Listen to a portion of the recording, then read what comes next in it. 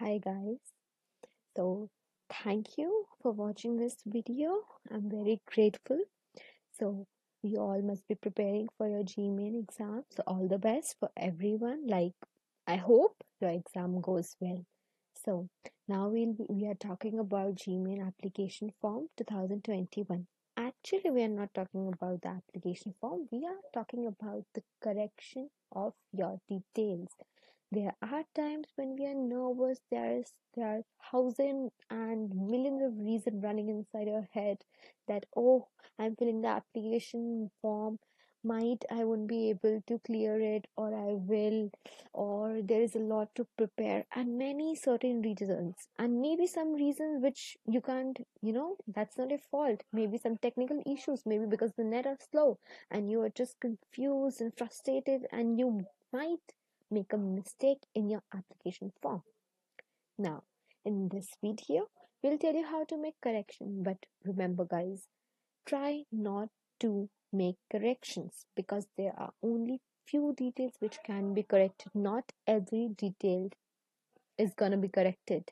So try to not make mistake, reset, recheck your application form twice and thrice like every time if you feel like if you have a doubt no i made a mistake go back and check it that no don't try to make mistakes. So if you made one i'll tell you how to correct it. So we can go through this link. So here it's also written what is the release release date of application form and what is the last date. Along with this it's written when a person can correct their you know application form and when is the last date of correction. So make sure you know about all these little details because we never know when a mistakes occurs and when we might you know we are like oh i filled it properly but in my admit card it's written wrong. But might be it's your fault. It's not the technical issue it might be your fault. So go and recheck all your details twice and thrice don't have 0.1 doubt in your mind. So here it's written the only details which can be corrected, as I told, the only details.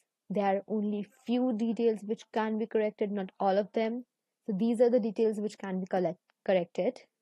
Personal details, your academic details, the change of paper, language of examination, name, state of eligibility, and date of birth. Along with this, the category also. So, how to make the corrections? Now we come to the point, wasting your few precious minutes.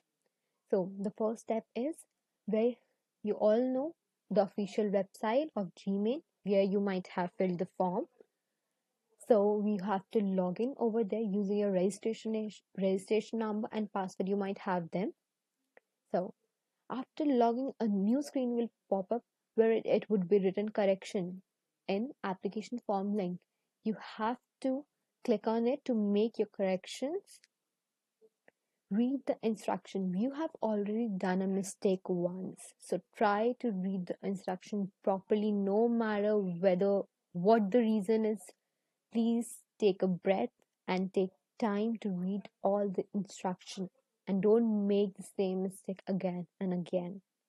So try to calm yourself down and go for the changes. Read the instruction properly and proceed for the corrections. Then you'll be able to see your detailed application form which you have filled beforehand. Make all the necessary correction. Don't submit unless there is 0% doubt in your mind try to check it twice and thrice because they you can never make a mistake twice right so check it before proceeding further so after going through it you have to submit you have to submit. I repeat, I'm repeating the sentence just because there are times when you forget to submit or might be technical issues, as I said earlier. So you have to make corrections and then submit. If you won't submit, then all the correction you made won't be reflected in your admit card nor in your application form. After submitting, you can take a print out of it.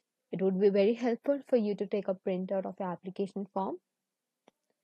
I don't have to tell you why you need to take a printout because it's very common that it is necessary for you guys. So, thank you for and all the best.